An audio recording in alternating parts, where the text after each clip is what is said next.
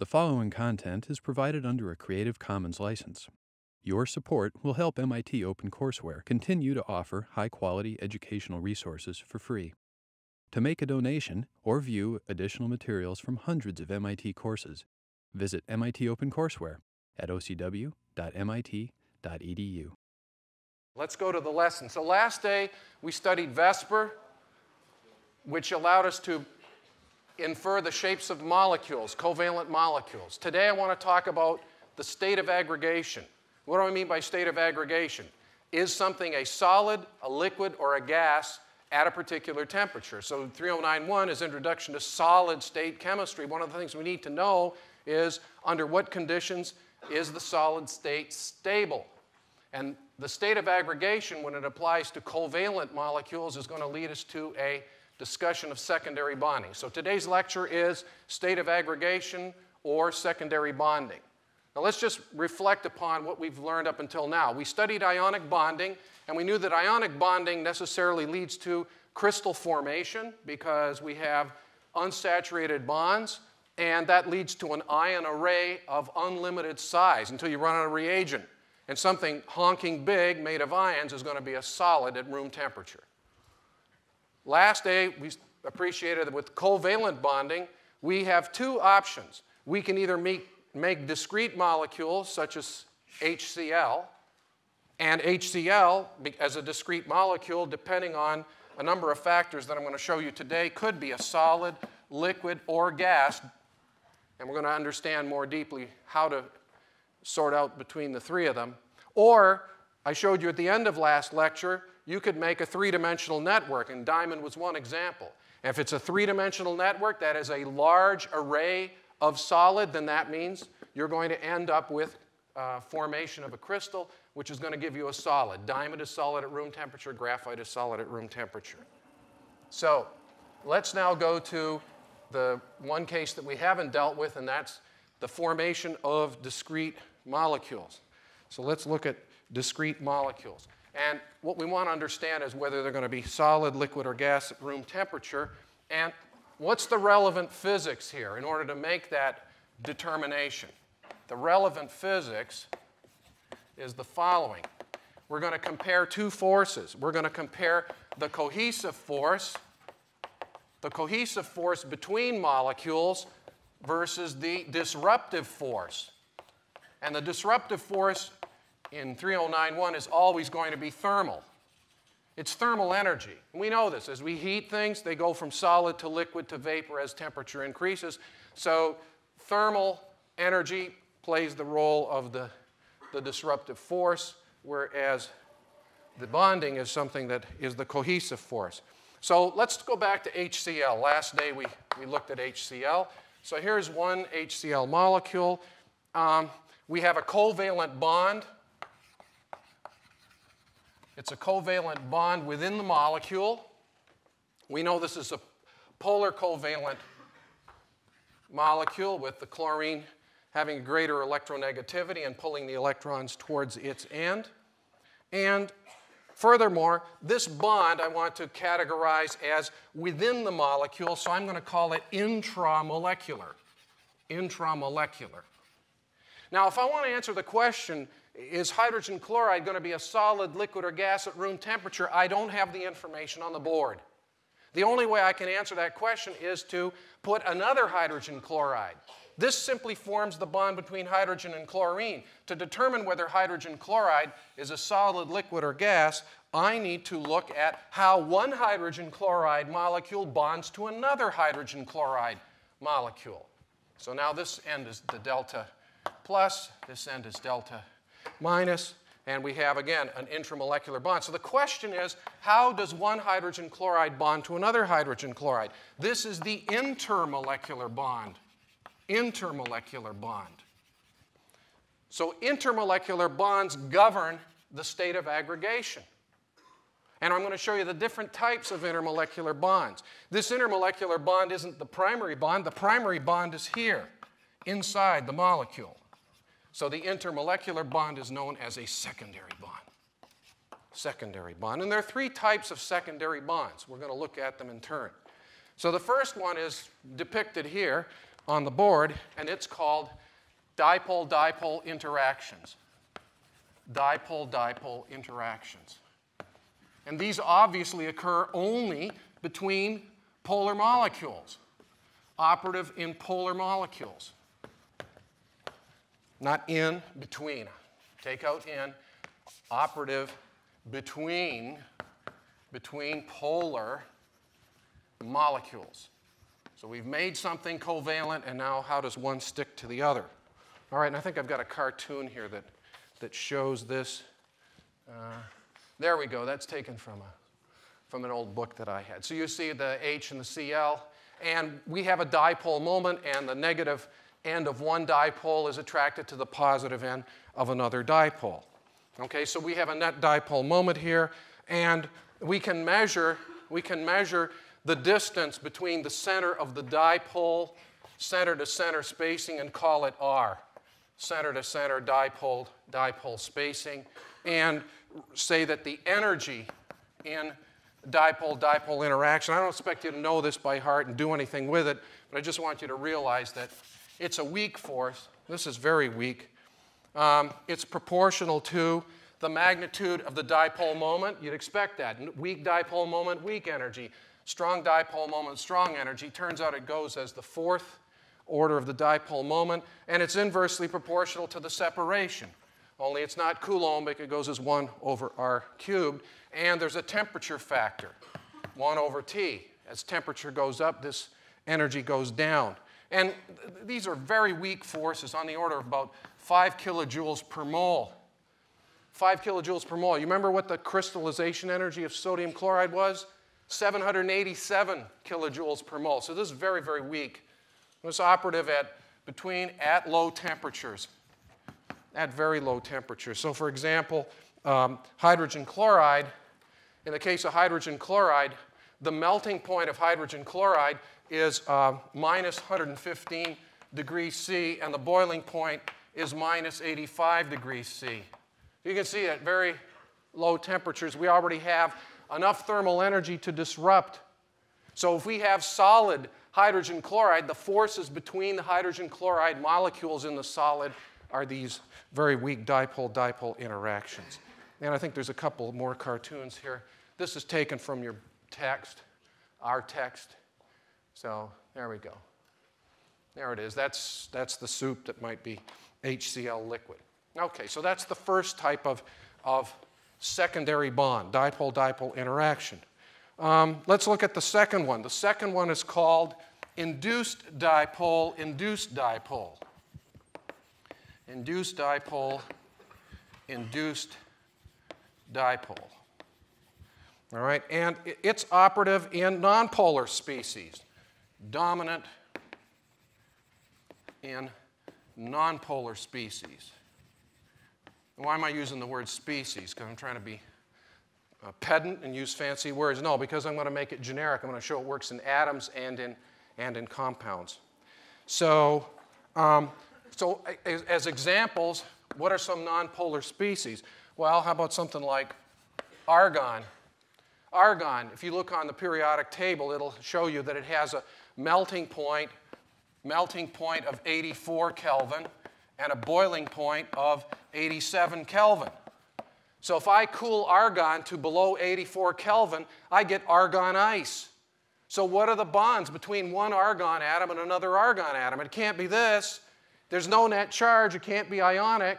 It doesn't form a covalent network the way diamond does. How do you justify the existence of solid argon? It's just so cold that it just sits there and freezes? I mean, how does it bond? There needs to be some kind of bonding and other nonpolar species. So, for example, the molecule iodine. Iodine melting point is above room temperature. It's a solid crystal at room temperature.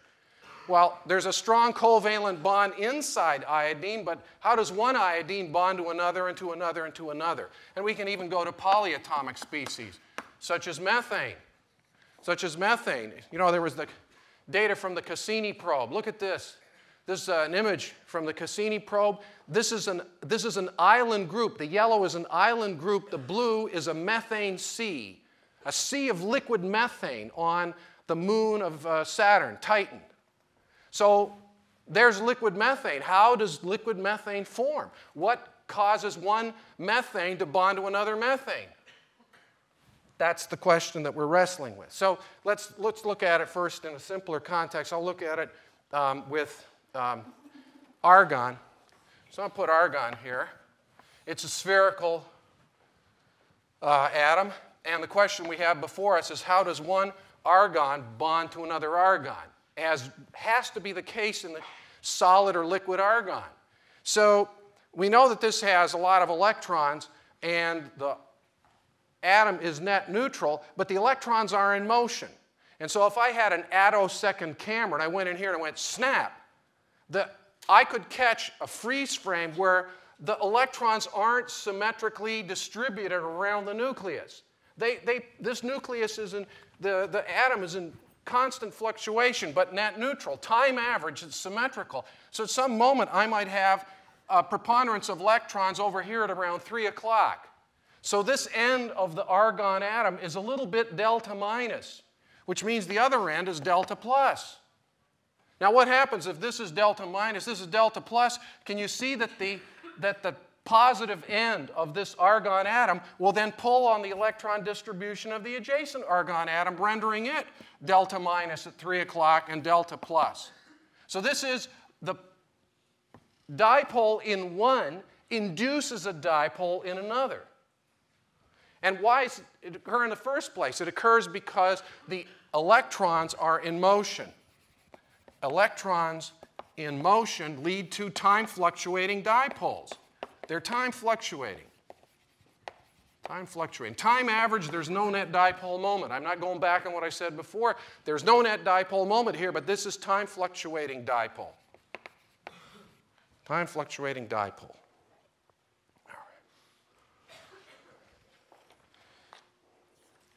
So, who was the first to explain this? The first to explain this was Fritz London. Fritz London in 1930.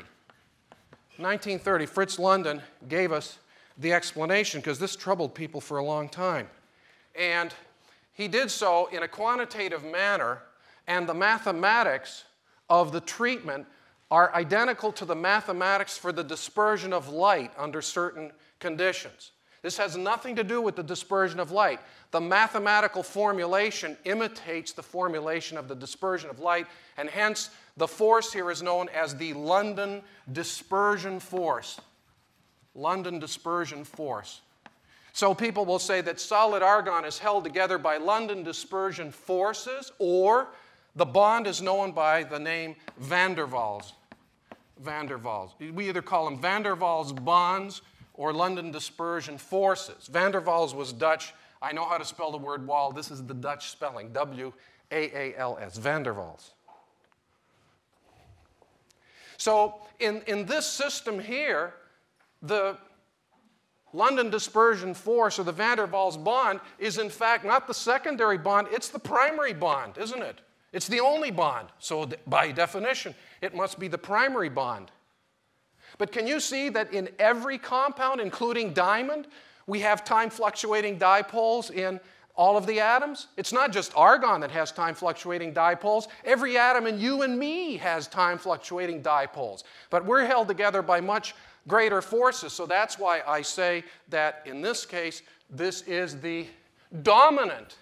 It's the dominant force, but it's operative in everything because wherever we have electrons, they are in motion. So this is the, the dominant one. All right, so we can look at it in a few other, a few other instances. So for example, uh, we can look at it in the case of iodine, we can look at it in the case of methane. All the same, time fluctuating dipoles. And this is a very, very weak force. So the energy in London dispersion forces or van der Waals bonds is proportional to, I'm just going to give it proportional, it's proportional to a quantity called the polarizability. Polarizability. The polarizability is, and this was defined by London, polarizability is a measure of how easy it is to induce this dipole. A measure of the ease of electron displacement within an atom. Measurement of ease of displacement, ease of electron displacement. Okay? And it, it's, it depends on, it depends on, it's influenced by the size and it's influenced by the number of electrons in the atom. Huh? So what do I mean by that? Well, let's take two systems. Suppose I've got argon, and I'll go up two members in the same series, and I've got helium. So what are the forces that hold helium together? Same thing. But the uh, boiling point here is 87 Kelvin. The boiling point here is 4.2 Kelvin. Why does this have such a low boiling point? Well, polarizability, size, helium is smaller. So the degree, the corral in which the electrons can roam is smaller. So the extent of electron displacement is smaller. And secondly, there are only two electrons, and they're in 1s, and they're tightly held. And so the, the, the delta minus, delta plus capable of being created in helium is tiny compared to the delta minus, delta plus that can be created in argon. So the energy goes as polarizability squared and divided by r to the sixth, where this is the separation, not the radius, but the, this is separation. Separation, dipole separation. And, and this is a font issue. This is proportional to alpha. So you can tell the difference. This is a proportional, that's to alpha. Of course, you can't tell the difference. You can't. This is a contextual. If I just wrote this by itself, you don't know what it is. My goodness, you're nervous. You're so nervous. All right, let's take a look at uh, here's the cartoons, induced dipole, and here's London's paper. Here's London's papers that first appeared in 1930 Theory and System of Molecular Forces. And here's, here's some cartoons from your book. This is uh, helium, showing helium. It's kind of funny how the artist shows, like there's these two helium atoms and they're absolutely immobile. And all of a sudden, one of the helium atoms starts jiggling, and then it induces a dipole moment in the other one. That's not how it happens. But, anyways, that's. All right. This is hydrogen. Same thing as iodine. All right. So there's there's delta plus, delta minus, because the electrons are moving, even though there's a strong covalent bond inside. So I, let me just make the point. I want to make sure people are very clear about primary versus secondary bonding. So if I look at iodine, I2, this is a covalent bond. It's homonuclear. This is covalent bond. There's no net dipole moment. Here's another iodine, but then we have time fluctuating dipoles. So this delta minus isn't because this is the bond here. This is the primary bond. This is the primary bond, and it's covalent. And this is the secondary bond. And the secondary bond is London dispersion force or van der Waals bonds because this is induced dipole. Hmm? There we go. Good. All right. So now let's look at, oh, here's another one. This one, this one gets on my nerves. Uh, oh, actually, this is good. This is good. This isn't the one, bad one. All right, so I want to show you polarizability. So here's a, here's a series of uh, uh, sp3 hybridized chains, propane, octane, icosane. So they're all the same. They look like this. CH is sp3 hybridized. And so you just have, so what is that? C3H8. So it's just, see, you have one, two, three, four. So there's hydrogen, hydrogen, hydrogen. And then the fourth one, I'm going to make it flat instead of trying to make a tetrahedron. All right? So one, two, three hydrogens. The fourth one is carbon. One, two hydrogens, carbon, carbon. One, two, three hydrogens. So this is C3H8. And compare that to the longer one, all right, which is uh, octane, which is C8H18. So it's one, two, three, four, five, six, seven, eight. And all you got to do is one, two, three, four, five, six, seven, eight. And you put four sticks off of every carbon you can't go wrong. You count them up, you got C8H18. Now look at the structures, they're the same. So how come, how come propane is a gas at room temperature, whereas octane, which is the principal constituent of gasoline, is a liquid at room temperature? It all comes down to polarizability. This one's got a longer corral. So, the, so if you like, the delta minus versus the delta plus is basically the same here, except the separation is bigger. Huh? All right, so that's pretty good. That's pretty good. Uh, this is the one that gets on my nerves. You see this? It's, exa it's exactly what I just showed you. So here's methane, uh, and there's the propane. Here's butane, and somewhere between butane and pentane, we cross the line at room temperature. So pentane is liquid, uh, butane is gas. And you keep going up, up, up. And finally, if you get to C20, you get, uh, go from liquid to solid because now the van der Waals forces are strong enough that even at room temperature you make a solid. It looks like paraffin. Okay? That's why you can melt paraffin because it's got a weak van der Waals forces. So temperature disrupts and it reforms. If you try to break a covalent bond, you pyrolyze the thing and you don't get it back. Secondary bonds allow for ready processing. Here's what bothers me about this. Instead of talking about polarizability, which is a physical quantity that means something, they say molecular weight. Well, it's true that this scales, these are heavier and it's monotonic. But to me, what's the relevant physics between the ability to form van der Waals bonds and the mass? It's just, it's a dumb thing. It's not a gravitational effect. So that's why this thing is stupid. And you see it all over in chemistry books. And it's just dumb. And if you put that on my exam, you're not going to get points for it. Because that's dumb. All right.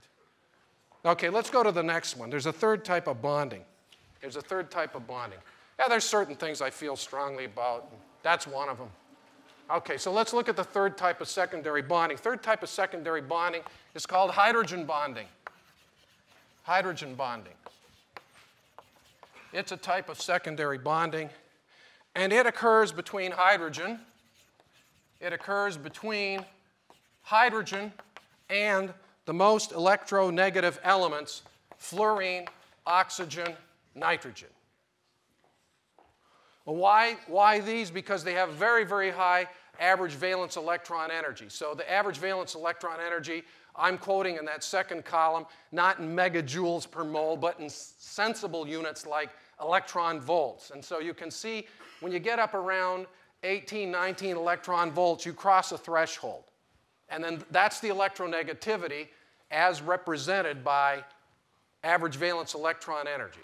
So you can see that as the electronegativity gets beyond some threshold value, roughly 3, then you can form hydrogen bonds. So this is owing to high average valence electron energy, or if you like, electronegativity, which means very strong polarity in the covalent bond in the covalent bond. Okay, so let, you say, well, there's polar and there's even more polar. So let's see what happens. So I'm going to use a prototypical value here. I'm going to look at HF. So if I look at HF, let's go through the, uh, the Lewis structure. There's H with its one electron, and F with the seven. One, two, three, four, five, six, seven. And so we have the covalent bond here, and we know fluorine is the most electronegative. So we have a dipole moment here. Now, the dipole moment is very strong here. And it's, uh, this is an accounting procedure to put the two electrons, but it no way represents the physical position of these electrons. They're brought in very close to the fluorine. So it's not symmetrically disposed between the H and the F. So I can't tell anything about whether HF is a solid, liquid, or gas. Why? Because there's only one sitting here. I got to put at least one more because this is a primary bond and it tells me how H bonds to F. It doesn't tell me how one HF bonds to another HF. So I'm going to put another HF over here. So there's another HF. And this also dipole. But there's something special about this. Already there's a dipole-dipole interaction, but the hydrogen bond is much stronger. It's much stronger, and why is it stronger? The electron in this hydrogen on the right is pulled towards the fluorine to such an extent that this hydrogen is so denuded of its electron that it's acting as proton-like. It's proton-like. Now don't tell people that Professor Sadoway said that hydrogen inside of HF is a proton. It's not a proton, but it's starting to get more nearly like a proton. And what do we know about a proton?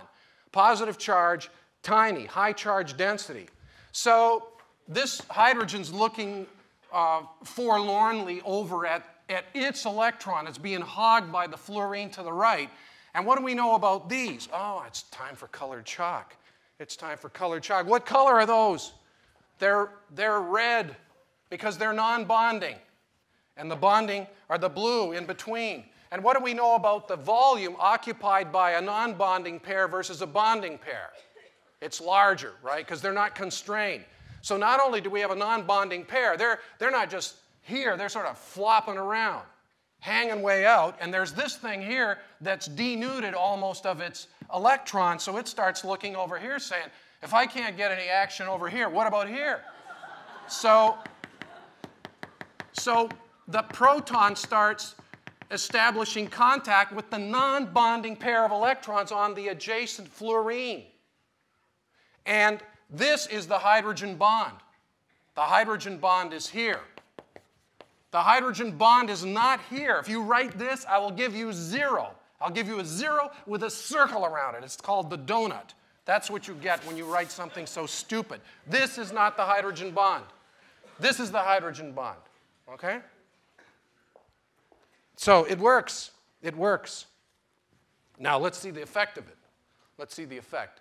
All right, so here's a cartoon showing uh, the, in, in water, in water, the, pardon me, the hydrogen oxygen spacing is about one angstrom, and the, the hydrogen oxygen spacing in adjacent water molecules can be less than two angstroms. So there's, there's, there's certainly a difference. I mean, it can't be the same. If it were the same, it would be a covalent primary bond, and you'd have a network. Now, this is interesting here because this shows the values that are given on your periodic table, which were obtained without the use of the average valence electron energies. These, these trends are correct, but look at this one. They got chlorine up at 3.16. And all of these have been revised. Now, on a test, just use what you've been given on the periodic table, but I want you to understand how this is rationalized with better data coming from photoelectron spectroscopy. So now I want to show you the implications of hydrogen bonding. The implications. So I've got four homologous series. So they're all uh, element plus hydrogen. So let's start with the group 14. That's shown here in purple. Group 14 shown in purple. And what do we have? All of these, we'll start with methane, CH4. So that's a, a central atom, one, two, three, four. They're all tetrahedral. Hydrogens at the corners, nonpolar, and no hydrogen bonding capability. So one methane bonds to another methane by weak, weak van der Waals forces. That's how it does. And it doesn't matter if I put, if I substitute the carbon with silicon or germanium or tin. I can put SnH4, and how does SnH4 bond to another SnH4? It's just by London dispersion forces. That's all that's operative here. And so we have what makes sense here that the heavier more massive, no, the ones that have greater polarizability have a higher boiling point because their van der Waals forces are stronger. That means you have to go to a higher temperature to achieve disruption. Same temperature, weak van der Waals force, gas. Same temperature, strong van der Waals force, liquid or solid. And you see the boiling point here. Monotonic from the lightest to the heaviest. Now let's go to the next one. Let's go to the green line, group 15. Well, group 15, what's that look like? Well, let's look at the structure of group 15. Group 15 is ammonia is one of them. So we can look at the structure of ammonia, and if we use VSEPR, we'll end up with something that looks like this. I, I go through the whole thing. You're going to end up with three bonds like this. It's a tetrahedral skeleton with a lone pair. Ha, colored chalk. So now, what happens? I can't say anything about this. Why can't I say anything about whether this is a solid, liquid, or a gas? There's only one there. We've got to put another one. So I'll put another one up here. N, H, H, H. Same gambit as with the hydrogen fluoride. This hydrogen sees this lone pair and establishes a hydrogen bond. And that adds to what otherwise would have been a dipole-dipole. This has a net dipole moment, agreed? So there's a dipole-dipole moment here, but this bond is even stronger. The hydrogen bond is even stronger than dipole-dipole interactions. So now let's look at the, at the graph up here. So what about in phosphine, PH3? No, phosphorus isn't electronegative enough. So in phosphine, in arsine, and in stibine, we don't have, we don't have hydrogen bonding. So you see this series in the uh, group four here? It goes monotonic from the most, uh, the, the heaviest element down to the lightest element. But here, heaviest, less heavy, less heavy, and the lightest element that should be down here is up here. Why is the lightest compound not down here? Because of the addition of hydrogen bonding. So ammonia is off the line. This line shows the trend based on dipole-dipole interactions only. Right? And you can see the difference. See, if you have, if you have van der Waals forces alone versus dipole-dipole, dipole-dipole are stronger, so SnH4 has a lower boiling point than SbH3. I can't predict this, but I could ask you, if I gave you this data, say, can you explain this to me? Let's keep going. Let's go to group 16. So, telluride, selenide, sulfide, dioxide, H2O, water, it should have a boiling point of minus 100 centigrade, were it not for hydrogen bonding.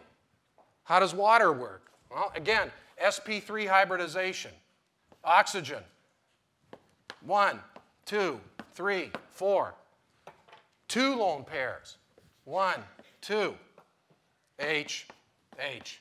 And now what happens? I bring another water molecule over here and hydrogen bonding. Hydrogen bonding. And that hydrogen bond raises the temperature, raises the requirement for thermal disruption, and moves the boiling point of water up to 100 degrees Celsius. If it weren't for this, we wouldn't have this conversation because we wouldn't have evolved as a species capable of conducting business at room temperature if water boiled at minus 100 Celsius. Hydrogen bonding is critical. It's absolutely critical. So, now you know. And, and this isn't just some little bit of pedantry for a professor.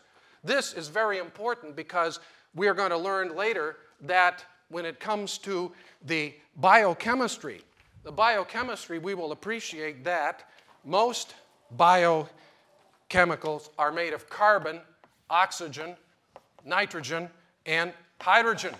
And that means you can have hydrogen bonds here and you can have hydrogen bonds here. Hydrogen bonding is critical to life. So this is a very important thing to know about. Okay, we have a minute or two. Yeah, so you can see polarizability increases here, but hydrogen bonding operative here. That's the explains the mystery. All right, we're going to jump over this because we are out of time. And so I will simply show you a few, a few pictures. Pictures. So this is a conference in Copenhagen in June of 1936, and there's Fritz London. Fritz London. But look at who else is at the conference. Niels Bohr, Wolfgang Pauli, Werner Heisenberg, Max Born. Remember the Born exponent? You better remember it for Wednesday. This is Lise Meitner. You haven't met her yet. We'll get to her. This is Walter Stern, Stern Gerlach. And this is James Franck. That's just the first two rows. This is quite a conference. Here's a picture of uh, Fritz London sitting on a bench in Berlin with Erwin Schrödinger. The Schrödinger is brooding, he's thinking. Uh, Fritz London is smiling. You know why? Because he's figured it out. He's figured out it's time fluctuating dipole, but he's not going to tell Schrödinger. He's going to say, you have to read about it, but you have to go to the library. Because if you don't read the primary sources, if you go to Wikipedia, you won't find this. Because it's not going to be in Wikipedia in 1913. Yeah. Okay, and last thing, hold on, hold on, hold on. Hey, wait a minute, where are you going? Where are you going? We're not done yet. Did the professor say class dismissed? No. So here's a, here's a biography of Fritz London which you know, I would recommend if you have a few minutes and you'd like to unwind, go out, sit in the sun, and read something like this. It tells the story of, of how he came up with these ideas, the, the rise of fascism in the 30s. He comes to the United States, takes a teaching position at Duke University. All of the people that he met along the way, all these people that we study, all this stuff, it's all there from his perspective and the perspective of his biographer, plus the pictures. So, anyways, Primary sources. Go read the primary sources. All right, class dismissed.